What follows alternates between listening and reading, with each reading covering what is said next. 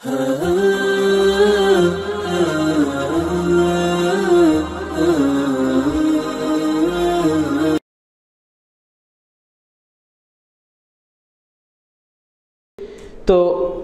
ঘর, বাড়ি, এগুলো অনেক সময় আমরা বিভিন্ন লেখাটিকা দিয়ে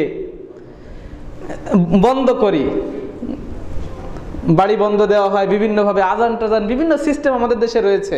আসলে নিজেদের এই জিন বা জাদুটোনা ইত্যাদি থেকে আমরা নিজের ঘরকে কীভাবে মুক্ত রাখতে পারি? প্রথম কথা হলো ঘরের বাসিন্দাদের কোরআন এবং সুন্না মানতে হবে। কোরআন, সুন্নার চর্চা ঘরে হতে হবে। গুরুত্বপূর্ণ ব্যাপার হলো, বিশেষ করে এই আমলটা করতে হবে তা হলো সুরা আল বাকারা সুরা আল বাকারার তিলাওয়াত ঘরে চালু রাখতে হবে।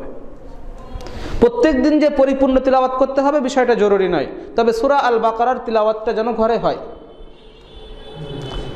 এটা অত্যন্ত গুরুত্বপূর্ণ। অনেকেই আমার কাছে প্রশ্নটা করেন যে নিজের ঘরকে কীভাবে মুক্ত করতে পারি। এই জাতীয় বিষয় থেকে, জাদুটোনা এবং জিনের উপদ্রব থেকে। সুরা আল বাকারা বিশেষ করে গুরুত্বপূর্ণ বিষয়, সুরা আল বাকারা এটা ঘরে তিলাওয়াতের ব্যবস্থা করতে হবে।